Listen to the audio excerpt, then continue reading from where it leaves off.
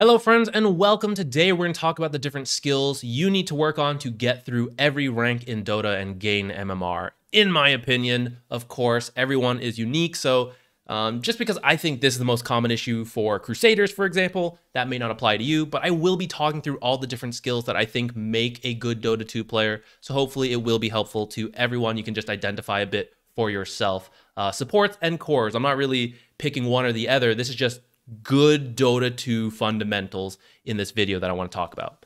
I want to begin by talking a little bit about the trench. I think a lot of people have misconceptions about this. The trench is not Herald, it's not Guardian, it's not Divine.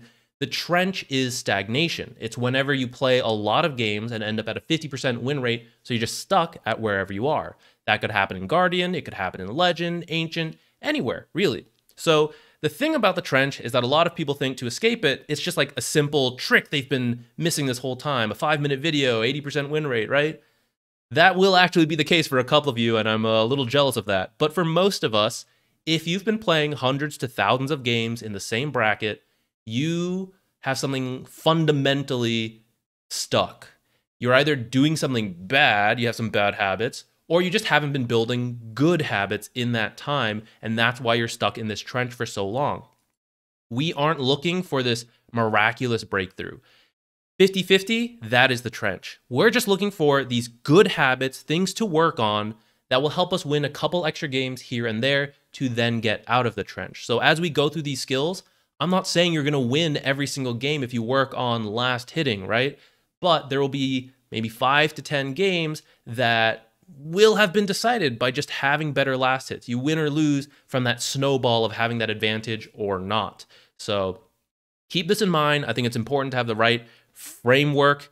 Um, we need to do some work. We need to build habits. It will take some time and it'll be a little subtle because, you know, it's only a win here and there. Uh, it's not so obvious sometimes to people and that can be a little disheartening. But I do want to say, like, if you've been stuck in a trench for, uh, especially approaching like thousands of games, um, it's going to take a little bit to get out of here. Uh, it's not going to be easy. Let's get into it though. So a lot of people break this down by mechanics and gameplay. Let's start with that. Mechanics to me is physically playing the game, right? Whatever human to video game interface there is, your computer, yeah, for most of us, maybe a controller for a couple people. But mechanics is like pressing the buttons quickly. So uh, abilities and items. I also want to throw out camera control, which I think a lot of people don't think about, but moving the camera around, moving your eyes around all over the place, right? You need to do this to gather information. It's a physical aspect of playing the game. There's also a little bit of a uh, like a rhythm game element to Dota where there are certain timings, right? You got to like hit the buttons at the right times to uh to get whatever you're getting. So last hits especially, but this also includes things like not overlapping stuns on a target, right, to get the pick off on the carry. Instead, they get the, the BKB off and they just wipe the enemy team, right? Oops, game decider right there. And it was just a matter of timing, a few seconds, you know, um, stacking, pulling. An enemy hero walks into fog of war. I have a skill shot in one second. You know, where do I aim it? How far can they run? That kind of thing. It's this timing component to Dota in the framework of a few seconds. There's also a larger timing aspect as part of awareness, which I'm talking about like the game clock. Um, this is something I'm going to emphasize in a lot more videos going forward. I'm coming to realize that many people struggle with this uh, mini map awareness and then like the game clock.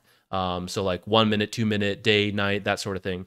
I actually think these two things help with a lot of the decision making, and many people are not used to collecting this information, like physically looking up at the the time, then down to the the mini map, then back at their screen, then up, down, you know, all of that. They tend to tunnel vision on their hero and what is mainly on their screen. But you have to remember the game is pretty big. The map's large. There's nine other players. We got to zoom back out, be aware of everything else going on in the game, not just our own perspective zoom in, get a couple last hits, zoom out. What time is it? Oh, I got to think about Rune soon. Mini map. Oh, not top Rune. I see four people there, right? Okay, zoom back in, another last hit, zoom back out. You know, all this stuff constantly going in and out. That's something you have to work on if you're not used to it. You got to build that habit of not uh, getting like too in your head about what you're doing, like all oh, these little last hits, right? You're forgetting the bigger picture of the game, what items people are building, what uh, levels they are, where they are on the map, you know, all of that, what their cooldowns are.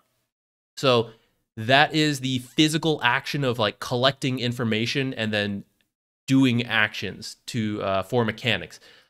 Game knowledge is why we're collecting information. So with that information, what do I do with it? I know about the game, so here's the correct decision to make based on what I've collected. So there's things like hero knowledge and itemization. Uh, I think this is probably fairly obvious to a lot of people of like, you know, what does my hero do? What do their heroes do? What items do I build? What skill build? Um, and I guess it's a good time to say, of course, there is a range of this. So if you're in Herald, I'm just expecting some very basic builds, you know, nothing too crazy. And then as you get further on, I want to see like, I'm adapting to the given game. You know, I am buying this item first in this game, even though it's not a very common item, because it's really good this game. You know, um, all of these skills have a wide range of how in depth and how good you have to be at it. But that is the like basic category of the uh, the skill. The last two parts of game knowledge are purpose and game plan. I think this is where a lot of people feel they struggle with. And I did a poll uh, on the YouTube channel actually, and many people said game knowledge was their issue, and a lot of comments led to uh, me understanding it's like this purpose and game plan. Which by that I mean for game plan, what is the overarching plan of how you win a Dota game, right? I got to take their ancient. To do that, I got to take the tier three.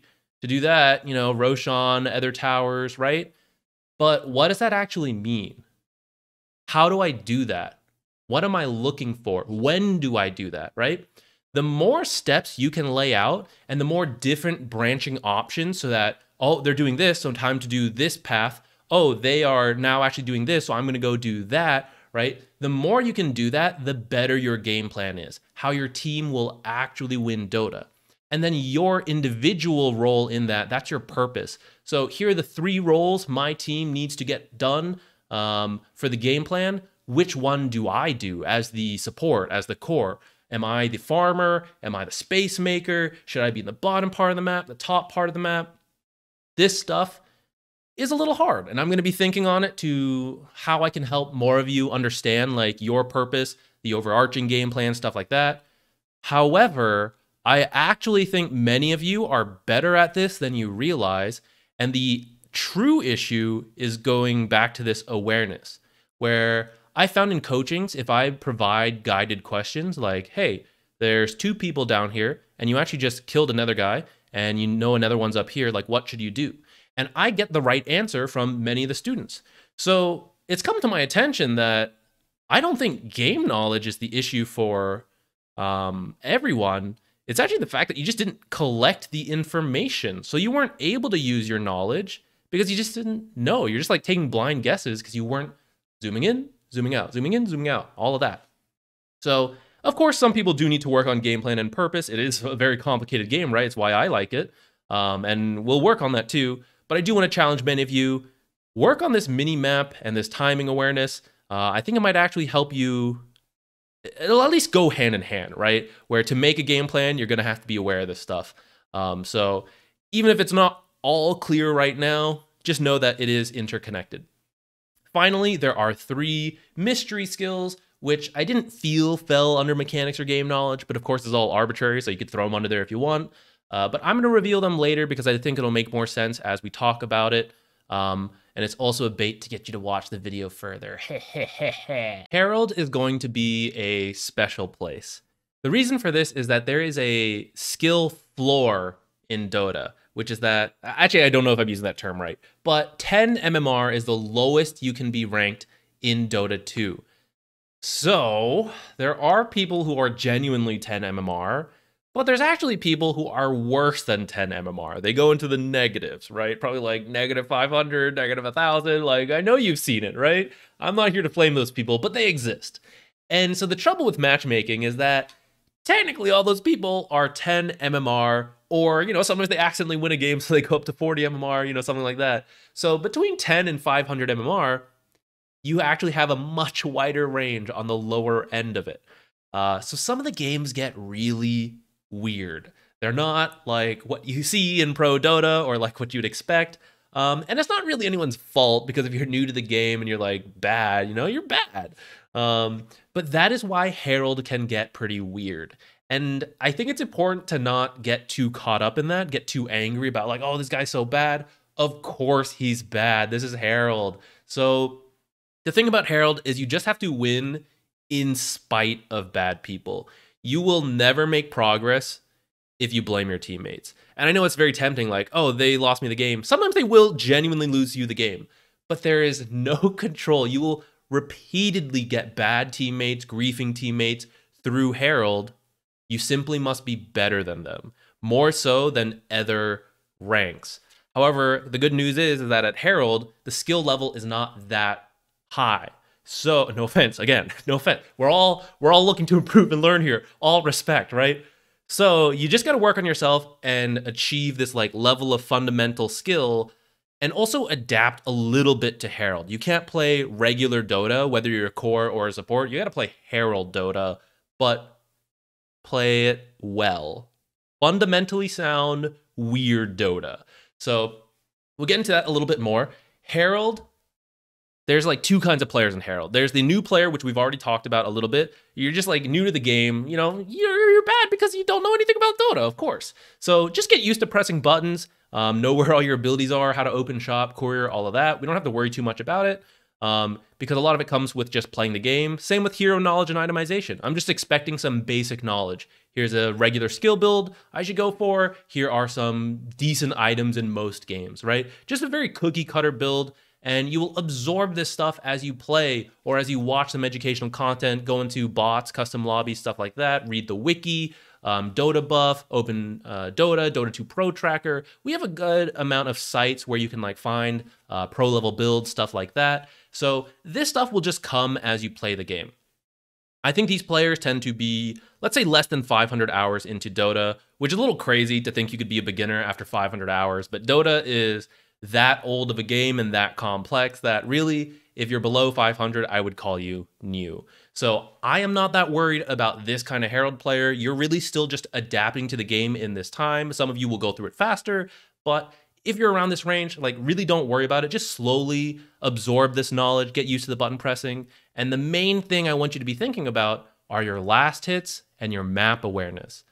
This is the exact same thing I want the second type of Herald player to work on, which is the Herald player who has been here for more than 500 hours, who's been here for maybe thousands of hours. There are usually some fundamentally flawed elements in Herald players who have been here that long. Um, it's either through mechanics or game knowledge. Game knowledge, for example, they are either here so long that they're using old memories. So, like, this was the build when I played, you know, and I'm going to keep doing it. But actually, it's been like three years since then. The patches are very different, and you have to update that knowledge. And if you're not taking that time to update your knowledge, you're just doing suboptimal stuff all of the time. Or they're trying to adapt, which is good, but the logic is a little flawed. For example, I die all the time. I'll build Heart of Tarrasque first item because it gives me a lot of health and it gives me a lot of HP regen, which is true but it is overlooking the fact that there's a flow to the game and that the buildup for Heart of Tarrasque is awful. And so if you try to go that item first, you're really having this huge period of inefficiency and weakness. And it would be better to go smaller items, farming items, and then you have a faster farming speed. The creeps are worth more because the game has progressed, and then you build a Heart of Tarrasque later. Like there's a flow that gets completely overlooked for this like smaller piece of logic. Um, so that can be game knowledge wise where Heralds struggle with. However, it almost doesn't matter because if you simply have good fundamentals, like you get the last when they're provided to you and you have good map awareness to recognize where there's farm, but also after getting the farm, contribute to your team in team fights, and that's the part that a lot of people miss. Um, you can do suboptimal stuff, but simply have so much golden XP, you are right by way of just being rich, right? It's not so different from the real world. Um, Herald players really should just work on a lot of basic fundamentals. So whether you're new or old, this is why like someone coming from League of Legends or StarCraft or old school RuneScape, if they have good fundamentals of playing video games, they will adapt to the last hitting and the minimap awareness pretty quickly. And even though they don't know nothing about Dota, they don't know strategy, they don't know the hero, they're like, who's this purple guy? He just disappeared. Whoa, that's crazy, right? It doesn't matter. They walk into bad fights with 5,000 more gold than the other Herald players, and they win the bad fights. So, this is the main thing that Herald should work on. It's the easiest thing to practice. Last hits, empty lobbies, custom lobbies, work on unfair bots, that sort of thing. Like, practice it. Awareness, I think we'll have to work more in future videos, but learning to identify um, where there is farm in the map for you, whether you're a support or a core, and then successfully acquiring it, going back to the timings, like that's what I want heralds to work on. Because being in herald is kind of like, um, you know, Bane from uh, not Dota, from uh, Batman, right? This spoilers for a movie that's like a decade plus old. What's that pit? Um, there's a pit in one of the Batman movies, and whether you're born in the pit or you fall into the pit, you are stuck in the pit. That is Herald, right? Herald is this pit, and pit life is very different from life outside the pit but you can escape the pit. You just must become very individually strong, good fundamentals, and you will have to adapt a little bit to the weird ways of Herald. You can't play the way that you see like ancients and immortals play, right? You got to do some weird Herald Dota, but fundamentally, you are sound. You are a strong individual. And when you escape the pit and you get out of there, you'll realize the world does not work like pit life did, but you will still be fundamentally sound and then you can adapt to the new world you are in. This is why, so much so, I really want to emphasize these like timings and awareness uh, elements for Herald players. I actually grouped the next couple of ranks together, which uh, the Archon players might not be so happy with, but I find that in these ranks, Guardian, Crusader, Archon, there is uh, there's a lot of variability more so than other ranks. So like of course all players are varied. Like sometimes you're good at one thing, you're bad at other things, right? But there is a lot of variability in these ranks. And so what I mean by that is like you might have one guardian player who's not very good at pressing their buttons besides the attack button, so their last hitting timing is really good, but um, you know, their hero knowledge is not so great, awareness is okay, but they don't really know how to use that information because they don't really understand like their purpose um, or their game plan. Then you have another Guardian player who is like pretty bad at last hitting and all of that, but actually has a pretty decent understanding of how to take good fights, what they're supposed to do, all of that. Both of these players will be in Guardian. And both of them have a good chance at winning Guardian games because one Guardian player might crush the laning stage and just snowball a lead from there. However, if that doesn't happen, Guardian and Crusader and Archon games tend to go quite long to the point where it kind of gets decided by a couple fights at the end of the game after like 30, 40, 50, 60, 70 minute games, right? I've seen them. Um, and that's where the other Guardian player starts to come out ahead with the better purpose and game plan knowledge, um, a good enough map awareness, right, to know how to take good fights and stuff. And the thing is, this applies throughout this like bracket. So, for example, here you might have a, a, new player coming from another game, and they're just fundamentally very sound. They're very good at last hits, very good at map awareness, but they don't know how to use like anything. And again, it's fine because as long as they buy suboptimal items, cookie cutter builds, whatever, they don't understand fully what they're doing yet. They just go into fights 3,000, 4,000, 5,000, extra gold, and they win. But if they don't make use of their lead, then someone with like better knowledge but bad like early game laning, they come out ahead because they know like, hey, dodge this guy who's doing really well. Yeah, split push the map, do all this stuff, right? And they can win that way. That's why I see Guardians sometimes like beat Crusaders and Archons, like in party games, stuff like that. Or you'd be surprised, you're like, oh, I thought this guy was terrible. Turns out he's Archon. Or like, oh, this guy was really good. Crusader, Guardian, right? It's like you're confused because everyone has very different skill sets in this bracket i feel like no one has started to like really become fundamentally sound in all the abilities and so people have like major strengths and major weaknesses and it interacts in funny ways where like someone really bad in the laning stage won't get to use anything else but if it does get there because the games tend to go really long like then they look better so that makes generalizing these brackets a little difficult but of course you could just work on everything right um, but if I had to pick out a couple things, there is still the last hitting aspect that I still see a lot of people miss free last hits in these brackets. So that's important to work on.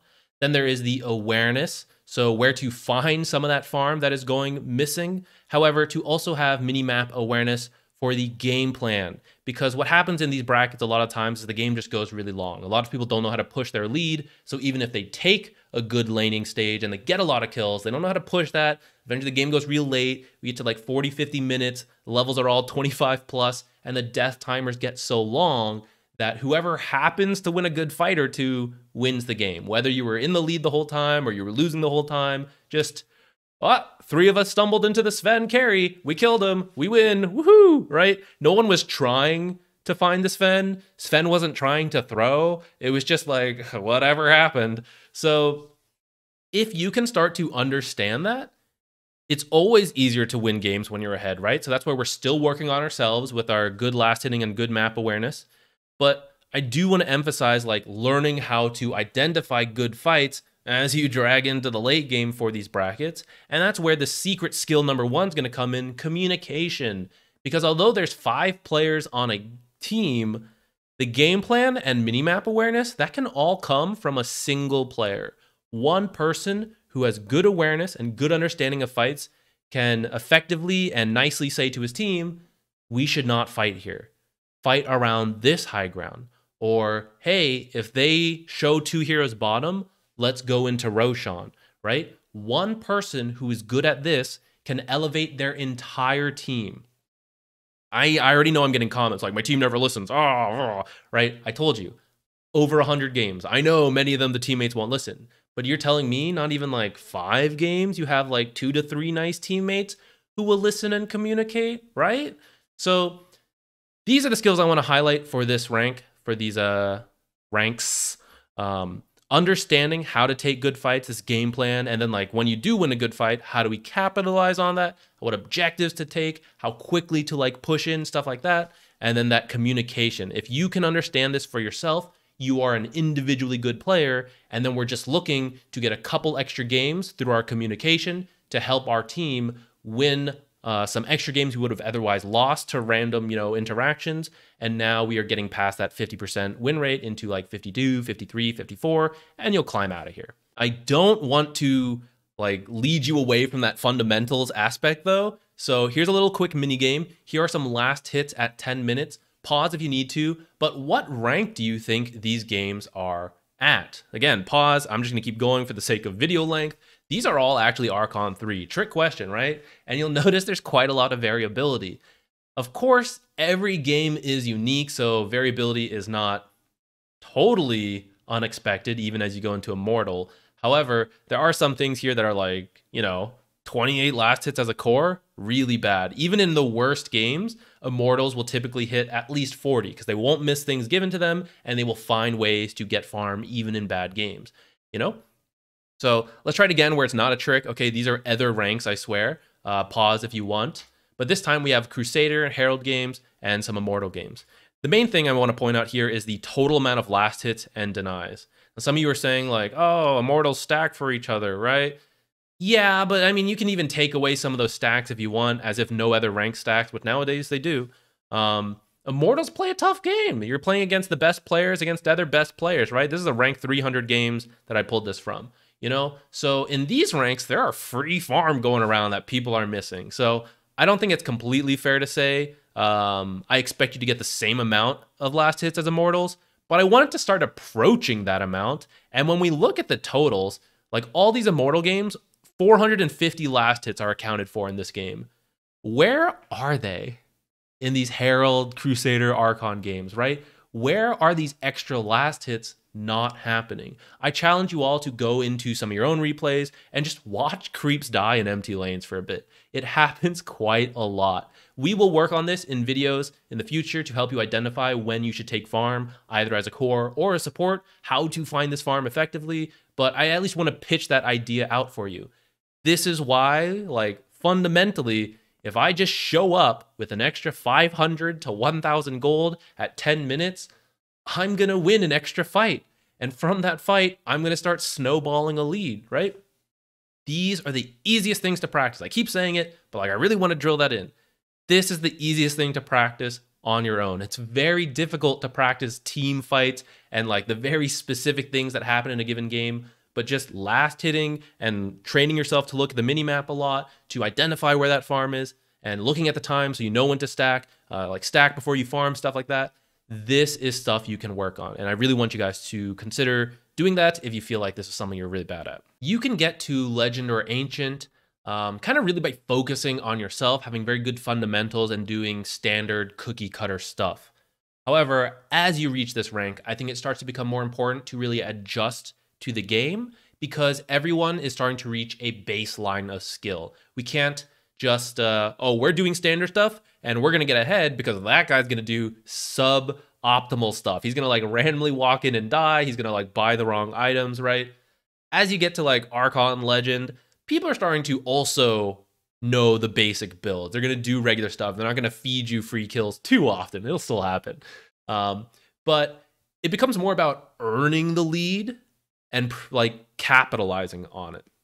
And if you give someone a lead in Legend and Ancient, they're more likely to be able to actually end a game early, to be able to make use of that and punish you. So we need to stop giving away any free, you know, advantages, which hopefully you weren't if you've been focusing on yourself, like your own uh, ability. But you now have to earn something, right? We have to outplay the enemy a little bit. We have to know more about their hero than they know it so that I know what to build and how to adjust to it. And I, I mess up everything they want to do. To do this, we need good awareness both for the mini map and the times, you know, to be continue to be self-sufficient, avoid easy ganks, stuff like that. But also, I want you to be checking enemy items a bit more. What levels are they? Where are they on the map? So that we can adapt. Like, hey, I know this guy is close to Blink Dagger. I know he hasn't been showing for a little bit. Guess what? I should probably start being careful. And that's going to help prevent him from getting a lead. And it's going to be I mean, just good for you, right? You're not going to die from a blink duel or something, right? So it's just good for you to have this awareness to be able to adapt. And we have to collect that information in order to adapt. And that's why hero knowledge and itemization are also important. We need to move away from just very standard things and really have a logic to what we're doing, why we're doing certain skill builds, certain itemizations, because we're trying to eke out that advantage. We must buy items that help us get there. Like I bought this drums early so that we can start playing some tempo speed a little bit earlier, right? Things like that instead of just skipping straight to other items. Uh, there should be a logic um, that is unique to the game a little bit. I mean, a lot of games are very similar, so you can just follow a similar logic, but you should be able to explain why in that particular game you are doing a certain build or not, and what you would expect the enemies to be doing, because that is how you will then formulate it all into a game plan. And I do think game plan is important here because I feel like a lot of people in Legend and Ancient are just kind of like doing very standard stuff, not knowing how to like adjust to the unique game. But it is hard to do that and hard to formulate that game plan without good knowledge and without the ability to collect the the information of what's happening in this particular game. So I want to emphasize these three topics, um, but they ultimately all lead into adjusting for the game, which is like game plan, purpose kind of stuff. Um, so yeah. If you get to Divine, you have some pretty solid baseline skills. And in fact, Divine players may even have better mechanics or game knowledge as some Immortal players. Um, now, you know, maybe not like the top Immortal, right? The pros, right? But lower Immortals, where you're trying to break into for a lot of Divine players, your mechanics and your game knowledge are probably pretty similar in a like individual basis of like what you know about a given hero, stuff like that. Of course, you will still need to work on it. Everyone always needs to work on like everything, but that's not usually the like strict issue for divine players, uh, in my opinion. I think divine players are good at capitalizing on opportunities given to them, but I don't think they know how to identify those opportunities as much and make them happen. Um, so like, oh, this guy's a bit out of position. Now I jump him and we win this team fight. Cool. But did you know how to bait him out of position? Did you know how to like take a good team fight top by forcing someone to go bottom by doing something like that, right? Um, we're starting to get more into like the meta of Dota and like macro micro movements in the map, like made someone go bottom. They showed here. Now we can do stuff top.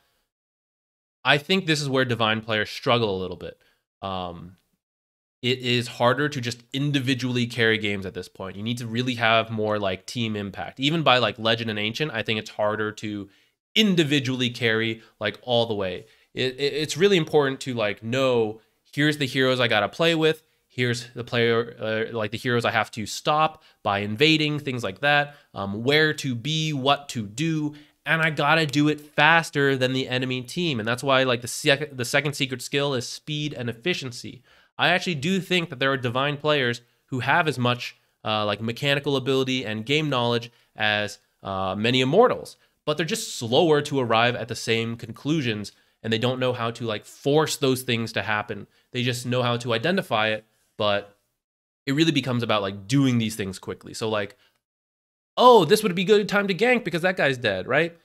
The better player, the one who made it to immortal, knew he was waiting for someone to die, so he already has the clarities and the smokes and the wards ready so that the second it happens, he's like, he's going. He has all the regen he needs. This is the time. I'm ready to go right now. I know that I won't make it here, so I'm not going to bother walking there. I'm going to hit this hero here. And then like a divine player is like, oh, it's about time to pull, right? Walks over, ah, oh, I didn't make it, ah, oh, walk back, right? It's these wasted seconds here and there that add up. Um, so for a lot of divine players, I really recommend spending some time outside of the game thinking, uh, maybe going over some replays, think about what should have happened, what could have happened, what would have been like good to do, bad to do, stuff like that because that's how you develop that speed and efficiency. Um, you need time to like arrive at the right conclusion and think through these things. But then the next time you appear in a similar situation, you got to be able to identify it real quickly and then like get to it, get going. Um, not take so much time like dilly dallying, like ah, farm my camp first, whatever, right? You gotta have a sense of urgency. Like the window is now. There's 15 seconds. If you don't go right now, the window is gone. And the difference between divine and immortal players that immortal players will take more of those opportunities, and divine players are just slower to identify, like to foresee it coming, and then be quick to like, okay, it's finally here. Let's go about it and do it. As you get into immortal, you have to be pretty consistent with your abilities. If you say don't press BKB in 0.2 seconds, that might be the game ending mistake. You know, like you just get punished hard for any small mistakes. There's less margin for error. You have to consistently do the right thing. Like, oh, you missed the pull, laning stage is over. You lose. You lose the lane. You have to now look to recover elsewhere. Immortal players know how to push their leads, so you've got to be like, you got to be very careful about this stuff. Now, of course, there's always a way to come back into the game, but like any of these could be an issue for you if you're an immortal player trying to go higher up. You can't have like a really bad area. You can't have like awful itemization, even if you're like great in the other stuff, because you'll just be punished really hard for that. Um, I guess there are extremes, right? If you're just amazing at other stuff. But like for most of us who are like average people, uh, you got to be like pretty good at a lot of this, and you got to be consistent about it. Any small mistakes could be a big issue. Like, uh, you picked this hero instead of that hero. Like, game's super hard now, right? Or like, oh, you stunned this hero instead of that hero. Fight's over, right? It's tough. Um, but for immortals, you just you got to figure out what you're bad at, and you got to like bump that up and uh, go from there. Communication, I think, can be great in immortal because it's such a um, it can be punishing if you make any mistakes. If you can be the team who's like, hey, let's kill this guy, right? You can start getting that lead and really get ahead. The problem is there's a lot of ego in Immortal because to make it to Immortal, you have to have your own vision of the game. Um, in fact, probably maybe not even watching this video, right? Um, but I find that many Immortal players, uh, they don't, uh, they know it, right? That's kind of what happens if you make it to the top of anything. Like they think they got here with the correct vision of the game. And everyone else in Immortal also did something similar. And if those views don't line up, I feel like that shows how flexible Dota can be. Like, oh, here's a bunch of people doing like different things. But to a lot of Immortal players, like, look at all these idiots thinking about the game incorrectly. My way is the right way. This makes communication a bit difficult. Uh, if you're saying like, hey, we should gank this guy, and someone's like, no, that's such a waste of time. We should do this, right? That can be iffy. I won't go into it too much further because it's not the point of this video, but it can make like I don't know. It's a double-edged sword. Communication can be great in Immortal, but like you can set someone off, and it's just like it would have been better to be quiet. So I don't know. Um, I do want to say the speed and efficiency. for a lot of Immortal players, especially as you get past the entry level Immortal and you make it to like the 1000s and higher, a lot of these players know similar things to the pros. It just comes down to like how fast you can do it. Same thing with like the divine thing I was talking about, right? Like I'm not caught unawares of why I lost the laning stage. He just did it better than me. He had the right items. He maneuvered his courier correctly. He did the pulls while I was still floundering around doing something else, right? They're just faster. They make use of all the extra seconds. And that's something you got to work on as you keep pushing into the highest uh, levels. If any of you have ever played like party games and you end up like guardian lanes against like ancient lanes, you probably feel a very similar feeling. Like they're just way faster. And as you look back on it, you're kind of like, okay, I kind of know what they're doing. Like I went out of position, they like punished me. But just like in the heat of the moment, the better players are faster at identifying all the stuff.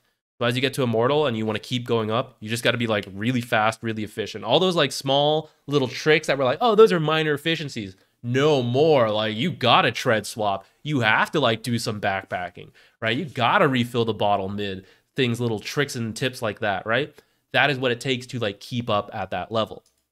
And the final thing is game sense, which is pretty vague. A lot of people discuss it in different ways, but to me, it is interpolating and extrapolating data.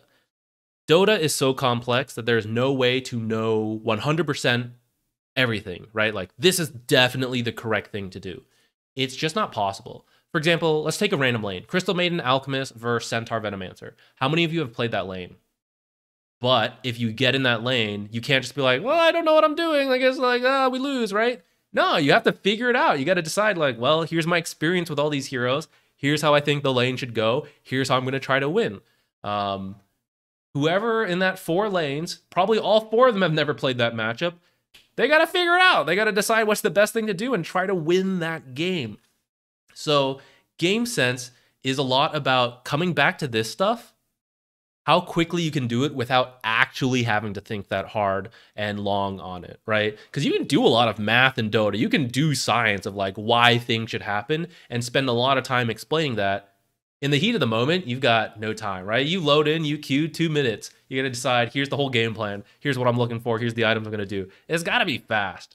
Um, now, some of this is like, oh, he dodged that gank. How do you know it was coming? Again, you can tie it back like, well, here's the heroes he was worried about. He knows his item timings are coming up, and he should know the enemies know that. They disappeared for a while. This is around the right time. The last time he used the big ability was about 90 seconds ago. This is the time for the gank. So I should now move down into the tree, something like that, right? And sometimes it looks amazing, like the timings just work out. But really, what it comes down to is just having played a lot of games, being able to take your experiences and what you understand about the game and apply them really fast to a totally unique game that you've never played before with these different heroes, with this hero doing well, that hero doing poorly. From here, I have to figure out a path to victory. And whoever comes up with the better path to victory ends up winning. That is game sense to me, which I guess I should add does apply to the other ranks, but like when you're not being punished as hard as you do as you get into like Divine and Immortal, kind of matters less. If you like had the wrong idea, took a bit more time to figure it out, and you get there, it's like, ah, they're still farming their own half of the map. It's fine, whatever, right? Um, but as you go further and further, like you got to be faster about that stuff. Um, now that's it. Uh, so I know this is not as uh, like today we just put stars on a chart, right? This doesn't fully get you out of whatever trench you're in. Um, let me know what you thought of this. Let me know like what makes sense, if anything was eye opening, and what you need help with. So like maybe you know like yeah, I struggle with game plan and purpose, but I don't know how to improve on it. I want to hear that stuff because I do want to help you all climb from wherever you're stuck. Um, so going forward, video wise, I do, I think the first couple videos I'll be thinking about are how to identify like free farm that's just going to waste in the game for uh, like Archon and lower. I see it all the time.